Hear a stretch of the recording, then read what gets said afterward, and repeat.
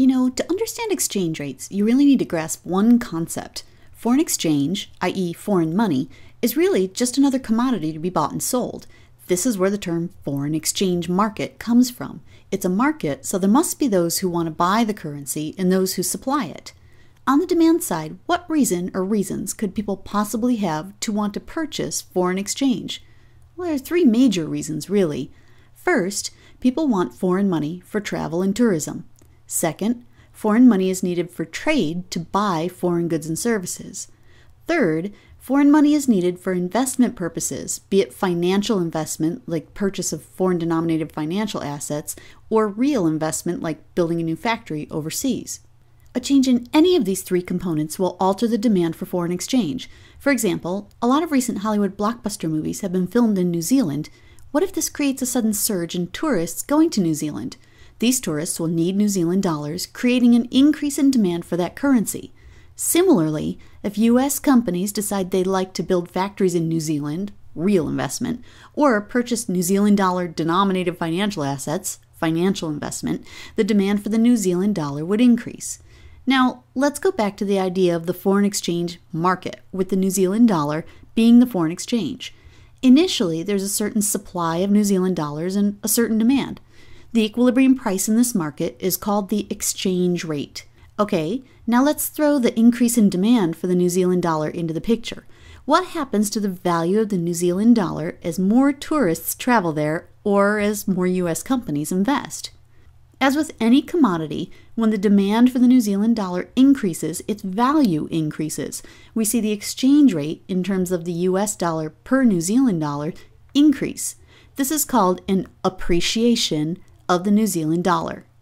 When dealing with bilateral exchange rates like this one, that is to say, the relative value of two currencies, it is necessarily the case that as one currency becomes stronger or more valuable relative to the other, in this case, the New Zealand dollar is increasing in value relative to the US dollar, the other currency is decreasing in value or depreciating. In this example, as the New Zealand dollar appreciates, the US dollar is getting relatively weaker or depreciating. Okay, so changes in demand for currency will affect the exchange rate. What about changes in supply? Well, ultimately, who is it that controls the supply of foreign currency? It's The foreign government. If the US wanted to drive the value of its own currency up, it would decrease the supply of dollars. If it wanted to drive the value down, it would increase the supply of dollars. Why would a country want to manipulate its own currency value? Let me give you an example. Suppose you're a U.S. furniture producer and government protection for the spotted owl means you can't get the lumber that you need domestically. So you call up a Canadian lumber mill, tell them you'd like to place an order, and they tell you that the lumber's going to cost 50,000 Canadian dollars. I don't know about you, but my bank account doesn't happen to have any Canadian dollars in it. This is where the exchange rate comes in. If I can figure out how much one Canadian dollar costs, then I can use that to calculate how much 50,000 Canadian dollars will cost. The price of one Canadian dollar in terms of US dollars is the exchange rate, dollars per Canadian dollar. I checked the dollar per Canadian dollar exchange rate for April 7, 2010 on xrates.com and found that Canadian dollar was equivalent to 0.998 US dollars. Just as a side note, this nearly one to one parity between the two countries' currencies is highly unusual. More on that in a minute. So, if one Canadian dollar costs 99.8 cents US currency, how much will 50,000 Canadian dollars cost? In the end, it would cost you 49,900 US dollars to purchase the Canadian lumber. Now let's take a little trip back in time and figure out how much that same 50,000 Canadian dollars worth of lumber would have cost in April of each year for the previous 20 years. When would you most like to have purchased that lumber? You can see by looking at the data that when the foreign currency is the cheapest, in this case 2001 at 64 cents per Canadian dollar, the foreign imports are the cheapest, 32,000 US dollars.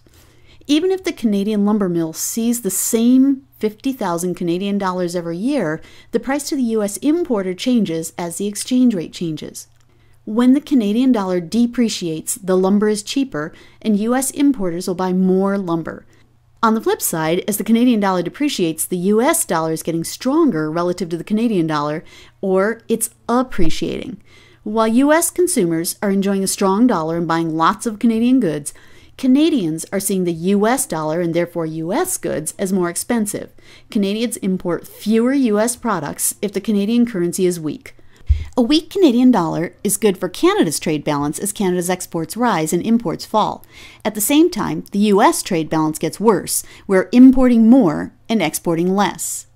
The effect of the currency value on the trade balance takes me back to the question why would a country want to manipulate its own currency value? You now know the answer to this. If a country can keep its currency cheap, then it keeps its products cheap and foreign products expensive, both of which are good for the balance of trade. The US has certainly been after China during the first decade of the 21st century. China keeps its currency value artificially low in order to keep a favorable trade balance. Next time, comparative advantage and trade.